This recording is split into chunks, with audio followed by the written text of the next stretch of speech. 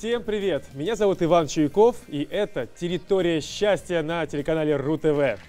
Каждую пятницу мы вместе со Снежаной Потаповой, наставницей для всех, кто мечтает о счастливой и гармоничной жизни, разбираем в прямом эфире вопросы и ситуации, которые вы присылали ей, э, Снежане Потаповой, в течение недели в директ. Если по какой-то причине вы еще этого не сделали, поторопитесь, инстаграм-аккаунт Снежаны прямо сейчас вы видите на экране. Снежана, я очень рад э, снова нашей встрече. С наступающим праздником, мы могу уже сразу поздравить. А можно так делать, да? С э, с наступающим 8 марта поздравлять? Почему бы нет? Пусть будет так. Будем Спасибо. новые Да, традиции. очень приятно. Спасибо. А, друзья, ну что же, опять-таки, а, сразу же хочется переходить к вопросам, которые вы э, просто, мне кажется, забрасывали, закидывали Снежану в течение э, недели. Э, мы выбрали самые-самые такие насыщенные, самые правильные. И э, готовы их уже сейчас в эфире озвучить. Снежана, наблюдая за вами в Инстаграме уже полгода, расскажите, пожалуйста, как вам удается так хорошо выглядеть? Держите ли вы диету, какого плана питания придерживаетесь, каким спортом занимаетесь? Ну, Прежде всего, благодарю за приятные слова. То, что касается питания, нет, диета это не для меня. Когда-то мне одна знакомая сказал- сказала такую вещь. Знаешь, если ты готова всю жизнь сидеть на диетах, то да. Если нет, то даже не начинай. Поэтому, как только я себе говорю, все, завтрашнего дня я, например, не ем конфет, мне сразу хочется есть только конфеты. Поэтому я знаю свой организм, я стараюсь есть все ну, по чуть-чуть. И, конечно же, на ночь там не наедаться сладкого. Ну, какие-то есть ограничения, э, но без фанатизма. Ну и еще какой-нибудь, э, может быть, секрет вашей красоты, уход за собой, э, спорт. Спорт, да, в связи там, с последними обстоятельствами у меня пока есть небольшой перерыв в спорте. А так я не очень люблю тренажерные залы, железо, как вот это все называют. Я занимаюсь собственным телом, у меня есть тренер, который я два-три раза в неделю встречаюсь. И да, мы просто прокачиваем собственное тело. Это какая-то гимнастика, растяжка или что? Э, Ну, я думаю, это комплекс. Я говорю, «М, надо проработать определенную группу мышц сегодня. Он говорит, да, хорошо, завтра, в следующий раз другую. Но о, он сам пишет программы для меня, и мы с ним работаем над этим вопросом. Ну и знаете, если уж такой вопрос был от зрителей, э, а какой для вас основной аспект счастья? Основной аспект счастья, наверное, заключается в том, чтобы получать удовольствие здесь и сейчас, а, не искать негатива во всем, не придираться к мелочам и все-таки видеть в людях хорошее и получать удовольствие от каждого мгновения общения с людьми, от того, что делаю я, и, конечно же, счастье в том, что я помогаю людям. Спасибо большое. Э, Друзья, ну э, продолжаем озвучивать ваши вопросы. Я добавляю свои, конечно, потому что мне тоже очень интересно приближаться к абсолютно счастливой жизни. Э, Как не потерять хорошие отношения с мужем после рождения ребенка? Как уделять ребенку много времени, но оставить отношения с мужем, э, но оставить, не ставить, наверное, отношения с мужем на первое место? Наверное, так имеется в виду. Я думаю, что немножко другое, что как раз отношения с мужем поставить на первое место, но при этом и чтобы... И что про ребенка не забывайте, про и про мужа не ребенка и про мужа, да. А, вот буквально недавно я общалась с одной девушкой, которая первый ребенок, довольно-таки уже э, приличном возрасте, так скажем, не в 20, не в 25, чуть старше. И она говорит, понимаете, в чем дело? Вот я очень хочу, я вижу, что муж, ребенку два месяца, и он начинает уже капризничать мужчина, потому что ему меньше внимания. Я говорю, послушай, если есть возможность, обязательно найдите помощницу, а, либо попросите маму, бабушку, хотя бы время, которое вы можете уделить себе, чтобы они гуляли с ребенком. Не посвящайте все свое время ребенку, особенно в таком маленьком возрасте, да простят меня все мама, мамы, особенно, знаете, как есть сумасшедшие мамаши, которые готовы посвятить свою жизнь, положить себя на алтарь к этому ребенку. А, Это нехорошо, это не хорошо, не плохо, но я скажу из личного опыта, пожалуйста, не делайте таких ошибок, когда вы забываете обо всех предыдущих детях, если они есть, и, конечно же, про своего мужчину. Отношения будут потеряны. Поэтому пусть у вас будут помощники, ваши близкие хотя бы, если нет возможности иметь няню. Не бойтесь отдавать няням, у кого есть такая возможность. Ребенок вас меньше любить не будет, но мужчину вы можете потерять. Пока вы весь этот год посвящаете свою жизнь ребенку, я вас уверяю со стопроцентной уверенностью, мужчина найдет ту, которая посвятит свое время ему. Поэтому, пожалуйста, не уходите глубоко в себя. Не забывайте, что мужчина это самый главный ваш ребенок в жизни. Маленькому нужно просто поменять памперсы, покормить, погулять, помыть, все. А, любовь свою вы гуляете с ним, хольте, лелейте, балуйтесь, э, не знаю, там, целуйте, все, что хотите. Получайте от этого удовольствие, чтобы это не было в тягость. В инстаграме РУ-ТВ уже появилась наша со Снежаной фотография. А, телезритель, который напишет под ней самый интересный вопрос, получает шанс выиграть в подарок аудиокнигу Снежаны «Три ключа к женскому счастью». Возрастная категория 18+. Но это еще не все. Поскольку мы встретились в канун 8 марта, подарков сегодня будет очень много. Первым трем телезрительницам, которые сделают репост нашей фотографии из инстаграма РУ-ТВ и отметят на этой истории Снежану, мы подарим бесплатное участие в марафоне Снежаны. Важно, аккаунт должен быть открытым.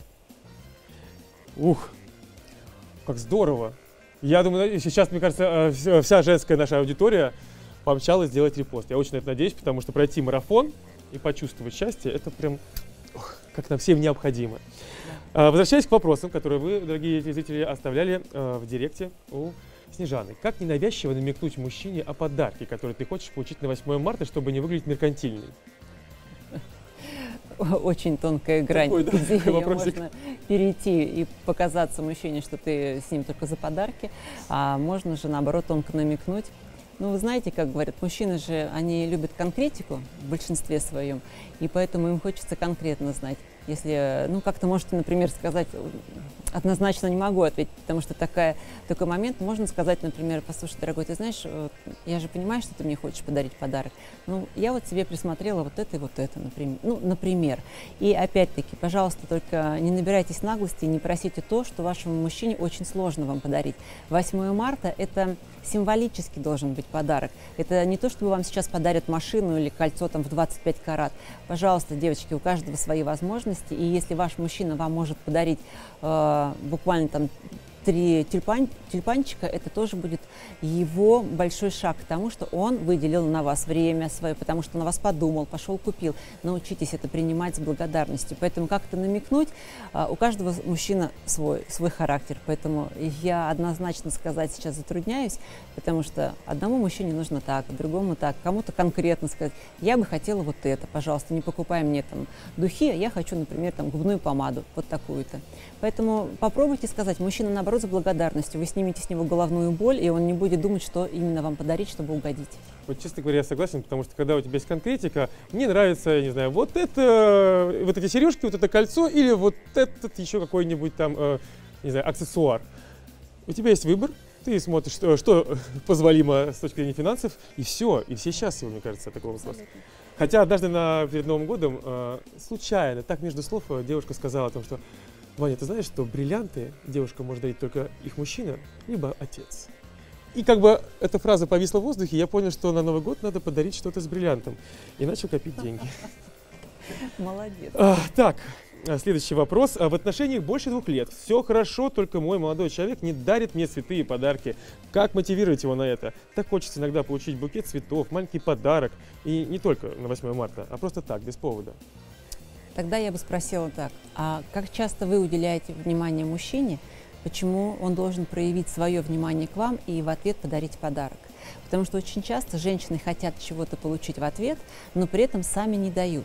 Я не говорю, что вам сейчас нужно пойти и купить ему подарок. Нет. Но когда мы дарим внимание мужчине, свою заботу, ласку, теплоту, а, мужчина автоматически захочет вам подарить то же самое. То есть, ну, помимо теплоты, потому что мужчины немножко по-другому, они более материальны, чем женщины-материалисты, они захотят что-то еще материальное вам подарить.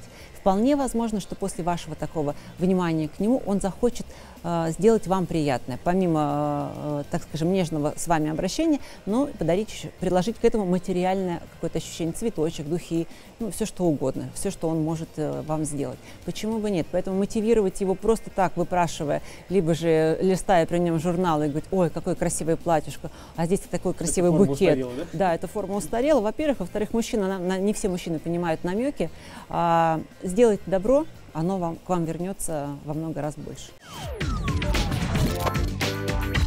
Это «Территория счастья» на телеканале РУ-ТВ. Снежана Потапова, Иван Чуйков. И мы продолжаем отвечать на ваши вопросы. Точнее, Снежана отвечает на ваши вопросы, а я внимательно слушаю. Можно ли по подарку определить, как мужчина к тебе относится? У подруги муж гуляет, но все время дарит ей дорогие подарки. Мой мне носит цветы и дарит сертификаты на массаж и развлечения. В изменах не замечен. Ну, то, что он не замечен, это еще ничего не значит, но я буду просто молчать. Да, хорошо. А, не показатель того, что, что дарит мужчина, он вам знак внимания. Я всегда говорю, послушайте, когда мужчина вам дарит сертификат, букет цветов, неважно. В этот момент он думал о вас, он о вас позаботился, решил сделать вам приятное. Он проявил свое внимание к вам. Поэтому нужно уметь принимать подарки. Не нужно смотреть, что подарил. Вы хотите, как у подруги, бриллианты, но за измены, а будете вы их носить? Я вас уверяю, что большинство э, этих подарков, которые он подарил за то, что он сделал ту или иную провинность, либо ошибку, либо что-то там не очень хорошая, я уверена, что большинство этих украшений или там этих вещей она не носит, потому что в них заложена э, такая другая энергия, которая немножко не положительная, она не дарится состояние радости. Это как бы э, извинение. Я считаю, что я бы сказал, это взятка некая. Ну, это как откуп от чего-то, угу. откупиться. Поэтому это не все приносит удовольствие и радость. Тут завидовать особо нечего, поэтому э, поблагодарите своего мужчину, лишний раз обнимите и поцелуйте, скажите, какой он молодец и как он заботится о вас, чтобы вы были ухоженные, красивые и счастливые. А как правильно реагировать, если подарок, который тебе подарил мужчина, тебе не нравится? Нужно ли прямо об этом ему сказать? Или как скрыть это разочарование? А, ну, давайте ответим на вопросы. Потом мне хочется попросить мужчин обратиться к ним именно по поводу подарков, потому что это на самом деле очень тонкая грань. А, прежде всего, надо научиться принимать подарки. Даже если вам не нравится, не нужно всем видом показывать, что вы недовольны. А, может быть, мужчина просто хотел сделать как лучше, как считал он лучше для вас. Поэтому в данном случае вы поблагодарите его, потом когда эта уже ситуация пройдет, успокоиться, намекните, либо скажите, как мы говорили, научитесь говорить мужчине, ты знаешь, подарок был очень шикарный, мне так понравилось, но вот в следующий раз, если ты не против, можно, мы с тобой будем либо вместе выбирать, либо ты со мной посоветуешься, либо там, ну как-то давай решать этот вопрос, потому что, да, это все прекрасно, но я бы хотела, может быть, что-то вот так. И для тебя тоже, когда у тебя будет праздник, давай, можно я с тобой посоветуюсь. Поэтому вы сделаете приятно человеку, облегчите его головную боль, и тем не менее вы будете также довольны. Но при этом хочу сказать мужчинам одну вещь. Дорогие мои мужчины, в преддверии 8 марта а, не нужно дарить женщинам бытовую технику. Вы считаете, что это хорошо, потому что это же полезно для дома. Я очень прошу, когда... Сейчас те, кто уже приобрел бытовую технику, такие, как-то поздно информация поступила. Да. А, женщины очень любят то, что можно одеть на себя и похвалиться. Представьте, вы подарили, а, не знаю, там, стиральную машину. Она придет подружке и скажет, у меня есть стиральная машина. И что? Это хорошо для вас обоих. Это необходимая вещь в быту. Но это не личный подарок девушке. Даже когда мы с супругом всегда ходили на день рождения и ходим, он говорит, давай подарим вазу. Я сказала, да ни в коем случае. Мы подарим то, что девушка может на себя, например, примерить, одеть, с чем-то с этим пройтись. Я люблю подарки, когда дарят для женщин. Пожалуйста, дарите подарки для женщин. Не дарите вы им технику. Купите технику отдельно от этого подарка. Не нужно этого делать. Женщина – это не домработница и не просто домохозяйка. Это прежде всего женщина, которая… А мужчину оценивают как? По его женщине. Если вы хотите, чтобы вас оценивали, насколько вы успешный, а, самодостаточный, богат, ну, все, что к этому прилагается, дарите соответствующие подарки вашим женщинам. Продолжаем э, замечательную программу, которая делает абсолютно каждого зрителя более счастливым. Территория счастья. Итак, вопросы, которые вы отправляли э, в директ э, Снежане. Э, сейчас вот, стоит ли... Не, секунду. Вот, как научиться принимать свое тело таким, какое оно есть, особенно после родов? Ну, для этого как раз мы занимаемся, для того, чтобы женщина перестала искать в себе недостатки. Понятно, что происходят определенные изменения в теле, и нужно заниматься собой. Прежде всего, повышать свой внутренний эмоциональный уровень на более высокие вибрации, энергетический уровень. И когда мы научимся принимать себя, то и тело будет выглядеть по-другому. Я уверяю вас со стопроцентной уверенностью. Потому что, занимаясь, женщина преобразовывается. Ну, тут такой, мне кажется, знаете, есть опасный момент. Вы-то можете себя принимать, а, допустим, ваш мужчина может не совсем воспринимать с новыми уже вот изменениями. А, и как его заставить принять? Ну, заставлять не нужно, наверное, да, начнем с этого. А если вы начнете себя любить, уважать и ценить, то я вас со стопроцентной гарантией уверяю, что мужчина вас будет воспринимать именно так же. Потому что женщина, э, например, что что-то с ней случилось, ну, неважно, живот растянулся, кожа, понятно, растягивается, не нужно в первые два месяца хвататься за голову и кричать «караул». Организм, он восстановится, и физическое тело восстановится при определенных тренировках, утягивающее белье, все это можно это все есть. Можно купить, можно подобрать себе диету, работу с фитнес-тренером, либо же онлайн очень много всяких разных тоже курсов проходит. И э, если вы будете акцентировать внимание на своем животе, я вас уверяю, что все люди будут видеть только ваш растянутый живот. То, на чем мы акцентируем негативное, то и притягивает внимание окружающих людей. Поэтому переключайте внимание на то, что в данный момент э, у вас, например, там, красивые волосы. Ну, обращайте к ним больше своего внимания, со временем вы начнете переключаться и переходить на положительные вибрации, эмоции и уже совершенно по-другому излучать энергию. А в ваш клуб э, часто обращаются девушки там, после родов или, допустим, после, после родовой депрессии? Да, очень часто, потому что, наверное, одна из таких э, проблемных э, проблемных таких моментов, это, конечно, послеродовая депрессия. Но чаще всего это не депрессия, мы сами себя загоняем. Я из собственного опыта знаю, что это такое, особенно после рождения третьего ребенка, когда ты хочешь опекать только этого малыша, ты не хочешь не видеть, не слышать никого, и ты говоришь, что это только мое, ты можешь потерять в этот момент всех. Либо тебе здравый смысл придет в голову, либо кто-то даст волшебный такой толчок и скажет, давай-ка займись вот этим. Поэтому, да, эти вопросы решаем, и они абсолютно решаемые. Послеродовая депрессия, это э, существует, но это немножко жалость к себе себе в данный момент. Поэтому не нужно себя жалеть, нужно оторваться от своих кроватей, диванов и что-то начать с собой делать. Ну да, если самостоятельно уже вам э, сложно себе помогать, а обращайтесь за помощью к специалистам. Спасибо. А, так, вопрос следующий. Э, Снежана, как вы относитесь к пластике, особенно к мамопластике? После родов э, мой небольшой размер стал выглядеть ужасно. Очень комплексую по этому поводу. Муж намекает, что хорошо бы увеличить. Боюсь, говорят много противопоказаний, это вредно. И вообще, значит ли это, что мужчина меня разлюбил, если склоняет к пластике? Но опять-таки, возвращаясь к предыдущему вопросу, то, что вы говорили э, до этого, э, очень много внимания, видимо, изменению то, что произошло с грудью у женщины. И, конечно же, мужчина, она, женщина на этом акцентирует, она постоянно, видимо, смотрит, она комплексует, когда одевает одежду.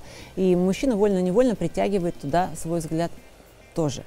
А, поэтому, дорогая моя девушка, автор сообщения. Да, автор этого сообщения. Пожалуйста, давайте начнем переключаться с этого момента на что-то другое, начнем качать, закачивать свое тело. Я думаю, что элементарные упражнения вам уже тоже можно делать. Это первое. И, конечно, повышать свое внутреннее женское состояние, повышать свою энергию для того, чтобы мужчина видел не только грудь, что с ней случилось. Вы восстановитесь, даже через год уже будет лучше это все. Но нужно потерпеть, набраться терпения просто и решить этот вопрос.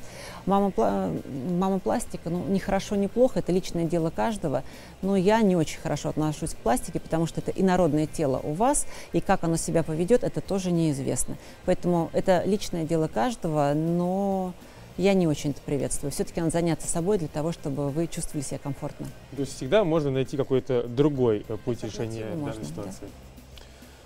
С чего начать восстановление после родов? Я расскажу из своего опыта, что я начала заниматься именно прокачкой своего внутреннего состояния. Когда я начала именно подниматься, потому что энергии очень много было потеряно на рождение дочери, то что женщина большую часть энергии отдает именно во время рождения дочери, как бы передавая себя ей и закладывая определенную основу, фундамент ее уже дальнейшего ее дальнейшей жизни. Поэтому э, сил не остается. Я просто начала заниматься в определенных э, клубах, когда именно с практиками с женскими, с энергетическими, э, различного рода женскими гимнастиками, и автоматически все тело начало приходить в себя, я начала оживать, и уже ровно через неделю, после всех моих занятий, моя жизнь перевернулась ног на голову. Продолжаем территорию счастья и становимся еще счастливее вместе с нами. Вопрос очень большой. Тут прям сочинение опять. Предыдущие отношения были очень болезненными. Я влюбилась, ездила к нему на другой конец города ради встречи. Все свое свободное время отдавала ему. А он перестал ценить. Последней каплей стала ситуация, когда мы договорились встретиться. Я в ночи помчалась к нему, а он, зная, что я уже еду, позвонил и сказал, что встретиться не сможет. Решил отдохнуть и ложиться спать. Понимаю, что ему я не нужна, прекратила общаться, чувствую себя тряпкой, но не могу избавиться от навязчивых мыслей о нем. С ним я цвела, чувствовала радость, легкость, раскрепощенность, а без него как без воздуха. Жить не хочется. Постоянно срываюсь, пишу ему, потом удаляю сообщения, стараюсь бывать там, где он, чтобы хоть мельком его увидеть. Как избавиться от этой болезни, болезненной зависимости? Помогите, пожалуйста. Переключаться пробую, но не помогает. Тут прям вот э, чувствуется боль у человека, действительно, да, такая, действительно. от этой зависимости. но этот человек себя уже довел до такого состояния, когда есть определенного рода болезненная зависимость да, от кого-то другого. А, это для меня это прям садомазохизм какой-то, когда она этим занимается, девушка ездит и ищет встречи. А, здесь нет уважения со стороны молодого человека. Если вас не уважают, если вы уже себя чувствуете как тряпка, ну куда дальше-то? Если хотите всю жизнь преклоняться, вот это раболепство, ну, это личный выбор, конечно, каждого. Но, с другой стороны, мне хочется сказать, как бы вы ни пробовали переключаться, что, во-первых, да, приходите обязательно, это вопрос решаемый, это вообще легко можно решить.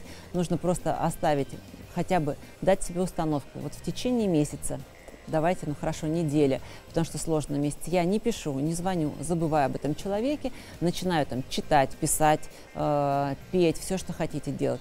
Да, и, кстати, если да, сейчас как раз начинается марафон, почему бы нет, если вы попробуете э, уйти именно в свое внутреннее состояние, я уверяю сто процентов, что вы поменяете отношение к себе, не потому что я такая хорошая или кто-то другой, можно найти для любого другого мастера, попробовать именно э, принимать себя.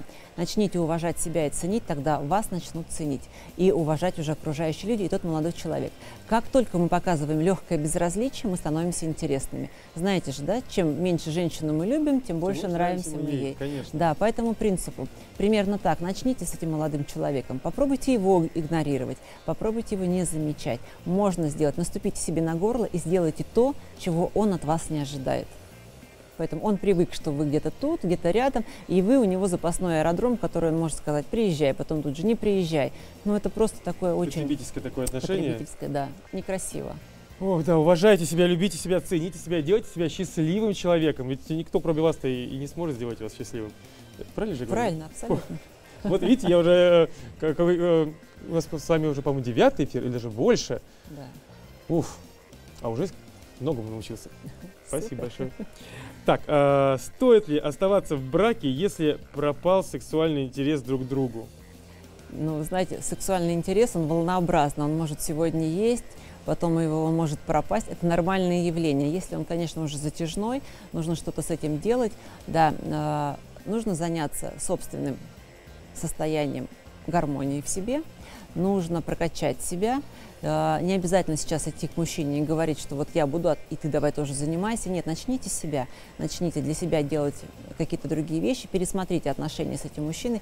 Конечно, разбегаться сразу я бы не советовала. У вас есть общие интересы, ваш, если у вас все хорошо, есть общие объединяющие какие-то моменты в вашей жизни, думаю, они много приятных, начните что-то менять.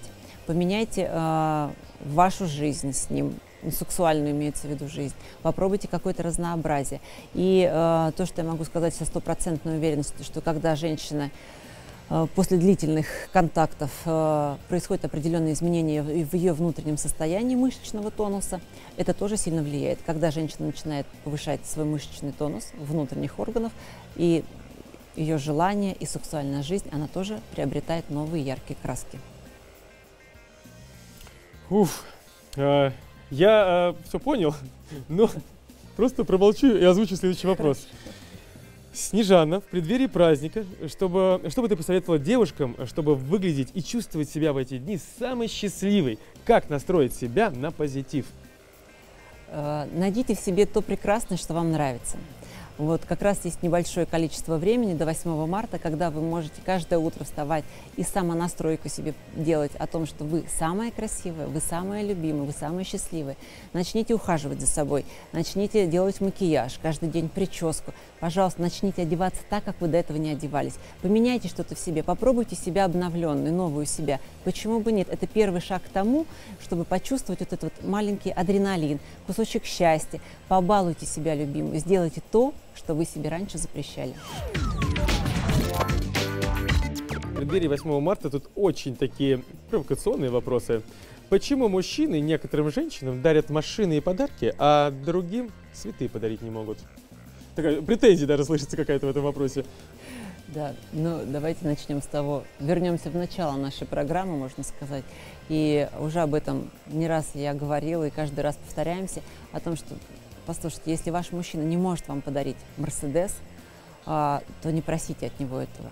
Если он может вам подарить, ну, не знаю, что, чайную пару, но он заработал на нее, но не требуйте. Это не факт, что все мужчины должны дарить Мерседесы. Есть люди, которые зарабатывают на Мерседес, но не дарят. Ну, вот здесь вопрос еще и к женщине. Мужчина хочет вкладывать в ту женщину, от которой он видит отдачу. А если женщина ждет от него только дорогих подарков, и она, извините меня, с ним ложится в кровать и говорит, вот сейчас я с ним, а завтра он мне вот за это подарит шубку. Ну, слушайте, такого не бывает.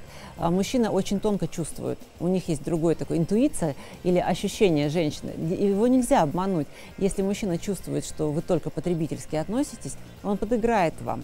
Но поверьте, он не останется с вами либо надолго, либо никогда вам ничего не подарит, потому что а, нет искренности в отношениях. Любите его искренне, цените его, уважайте и берегите. И мужчина в ответ вас тоже будет боготворить. Но давайте это будет все-таки работа с двух сторон. Ну, я не говорю, что мужчина теперь только потребительски будет относиться к женщине. Давайте все-таки это будет игра а, взаимная.